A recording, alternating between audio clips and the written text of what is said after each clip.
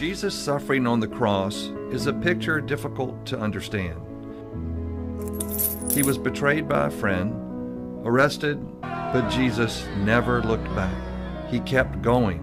Jesus could have avoided the cross, called down fire from heaven, or summoned legions of angels to rescue him, to save him. But Jesus was not interested in saving himself.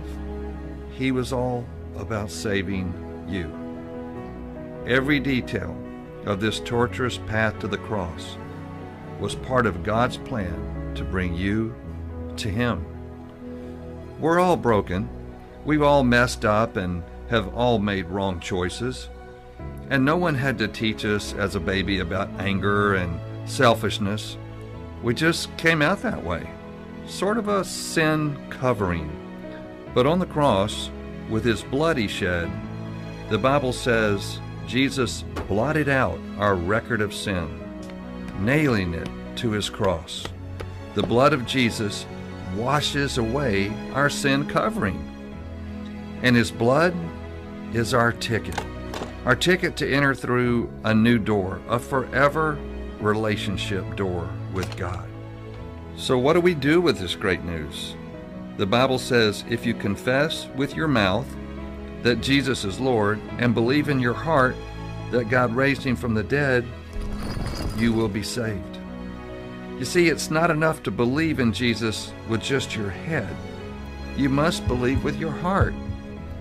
Now, there's just one person alone at the foot of the cross. It is you. What will you say to Jesus? Say, Thank you, Jesus, for shedding your blood for me. I'm giving you my heart today, Jesus. I do believe you died for me and that you were raised from the dead for me. Please give me a new heart and a new life right. Jason Blood Church, pay attention to the salvation message at the beginning. Jesus Christ, He died, He buried, and rose from the dead, according to 1 Corinthians 15 1 through 4. It's a heart belief, and that the blood He shed atones and forgives you for your past, present, and future sins. All at once, He said it is finished when He was on the cross. And that means you can't earn yourself into heaven. Ephesians chapter 2, verses 8 and 9 says, It's not a work so any man can boast. Taking a look at seven different verses that we can count on for God as our strength. And in Him, all is possible. Psalms 46, verses 1, we'll start there. God is our refuge and strength, a very present help in trouble.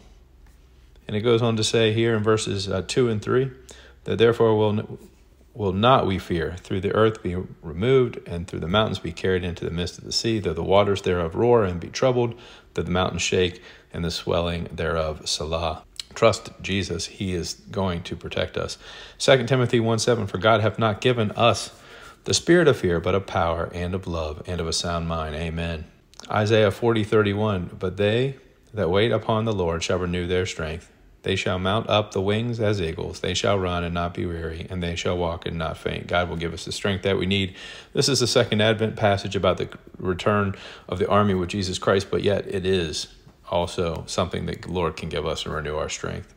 Matthew 19, 26, But Jesus beheld them and said unto them, With men this is impossible, but with God all things are possible. Amen. In Ephesians 6:10, finally, my brethren, be strong in the Lord and in the power of his might. How do we do that? We put on the armor of God. Verse 11, put on the armor, the whole armor of God, that you may be able to stand against the wiles of the devil. Verse 12, for we wrestle not against flesh and blood, but against principalities, against powers, against the rulers of the darkness of this world, against spiritual wickedness in high places. There's spiritual wickedness in high places. There's evil rulers of this world that have an agenda against God. And we, we do not battle against people, but rather these principalities. And verse 13, we take, wherefore take unto you the whole armor of God, that ye may be able to stand in the evil day, and having done all to stand. We're not running, we're standing with the Lord. The Lord is our, is our strength and our power. Psalms 91 1, he that dwelleth in the secret place of the Most High shall abide under the shadow of the Almighty. Verse 2, I will say of the Lord, He is my refuge, my fortress, my God, in Him will I trust. He's my refuge and my fortress. Amen. And Philippians chapter 4, verse 13 to end it, I can do all things through Christ which strengthen me. All things.